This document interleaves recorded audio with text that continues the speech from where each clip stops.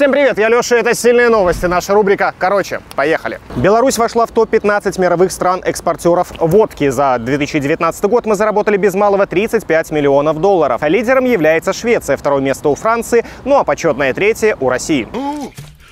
За родину. В Светлогорском районе парень не смог найти свой автомобиль, поэтому украл чужой. Гонщик пояснил, что он забыл свой автомобиль в поле, не мог его найти и поэтому увидел другой. Видимо, кто-то хотел о нем позаботиться и оставил ключи. Парень угнал автомобиль, ну а теперь прокатится на 5 лет колонии. Польские власти разыскивают белоруса за уборку мусора. Его зовут Александр, он приехал в Польшу на заработки, в свободное от работы время пошел в лесополосу, собственно говоря, и убрал мусор. Все это снял на камеру. Городские власти это увидели и ищут белоруса, поскольку, как они говорят, это достойно благодарности.